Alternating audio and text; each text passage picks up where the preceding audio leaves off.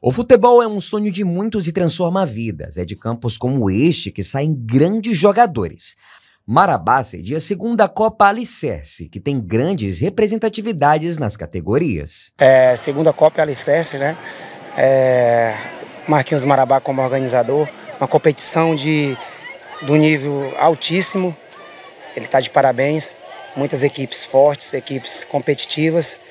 E a gente está tá na luta aí, vamos ver, a gente está esperando o nosso sub-10 para ver se a gente classifica ou não.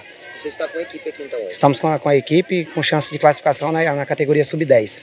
A nossa equipe conversou com um dos participantes do campeonato, que já sai em disparada rumo à vitória. Estou aqui com o Lucas Henrique. E aí, Lucas, conta pra gente um pouco da tua história, cara. Tu tá representando que time hoje? Eu tô representando o Clube da Bola, daqui de Marabá mesmo, é, no sub, no, na categoria sub-13. É, a gente a gente veio aqui para ser campeão, já estamos classificados para as quartas de finais, graças a Deus, e que vamos para o título. Vocês aí estão nesse processo também de dedicação para fazer o melhor pelo time. Aham, uhum, estamos nesse processo de dedicação e ajudar sempre o time, uma união do clube da bola em si, união do time todo. Prepara os físicos e, ó, e jogada na bola. Essas têm sido algumas das táticas utilizadas pelas escolinhas aqui em Marabá e Brasil afora. Isso tem servido também para disseminar ainda mais o esporte dentro do município, que vem ganhando força.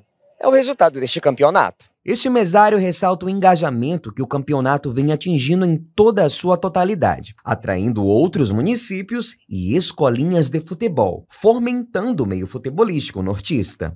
É um campeonato bem organizado, é, os hábitos tudo certinho, tranquilo, trabalhando certinho.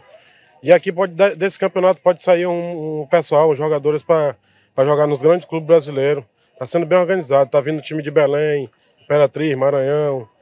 Da região aqui está vindo vários clubes e até agora está tudo correndo bem. Já, já, hoje é o segundo dia já. Isso tem servido também para fortificar ainda mais o esporte na cidade. Com certeza, isso aí.